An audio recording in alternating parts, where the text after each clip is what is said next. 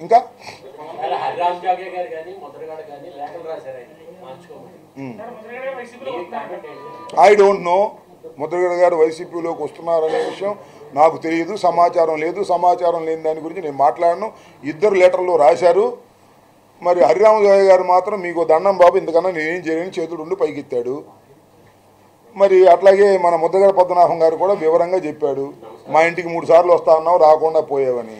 ఏం దీన్ని బట్టి అర్థమవుతుందండి ఏ మాటకి ఆ మాట హరిరామ జోగయ్య గారు ముద్రగడ పద్మనాభం గారు మాకు గిట్టినా గిట్టకపోయినా కాపుల్లో కాస్తో కోస్తో పలుకుబడి ఉన్నటువంటి నాయకులు. కాపులు శ్రేయస్ కోరుకునేవారని మేము అనుకుంటున్నాం. అది ప్రశ్నించ ప్రశ్నించకో ప్రశ్నించడం కోసమే పుట్టిన పార్టీకి ప్రశ్నించేవాడు అవసరం లేదు ఇక. దరువేసేవాడు కావాలి. ఒక దరువేసేవాడు ఎవరో తెలుసా మీకు? ఒకే ఒకడు ఉన్నాడు.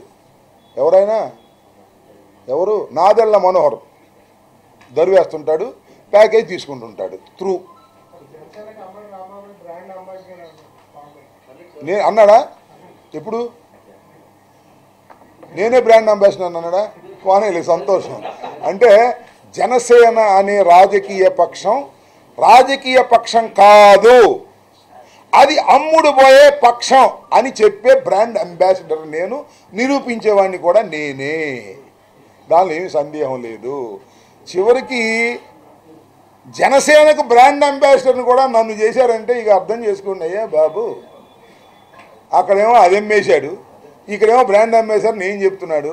దీని అర్థం ఏమిటి తిరుమలేశా? ఆలోచించుకోమని మనం చేస్తున్నాం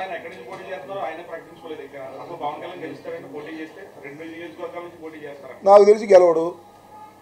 చంద్రబాబే డౌటు ఇంకా పవన్ కళ్యాణ్ ఎక్కడ గెలుస్తాడు? నాకు అర్థం కాల. పవన్ కళ్యాణ్ గారు పోటీ చేసిన చోట నిన్న చంద్రబాబు మాట్లాడంగానే కుర్చీలు ఖాళీ చేసి వెళ్ళిపోయినట్టుగానే వేస్తారు వెన్నుపోటు. దానిలో అనుమానం లేదు. నమ్మిన అంత బాగా డైలాగ్ బాగానే ఉందిగా వైనాట్ పులివెందులని. ఆ డైలాగులు చూద్దాం వాటి సంగతి ఏంటో రాబోయే కాలంలో. అవునే అది అవని ఆ- అది చెప్పని నన్ను. అదేదో రా పులివెందల పులివెందల వైనాట్ పులివెందల అంటే మేము అన్న మేము సిద్ధం అన్నాం. మేము కూడా సిద్ధం అంటున్నారు మేము ముందు డైలాగ్ అనాలి ఆ తర్వాత దాని క్యాచింగ్ అనాల్సింది తప్ప ఏముంది వాళ్ళ దగ్గర? కుప్పంలోనే ఓడిపోబోతున్నారు కానీ ఆ పులివెందులో కూడా మీరు ఇంత ఇట్లాంటి ఏడుపులు తప్ప స్వయంగా వండి వార్చేటటువంటి పద్ధతే వాళ్ళ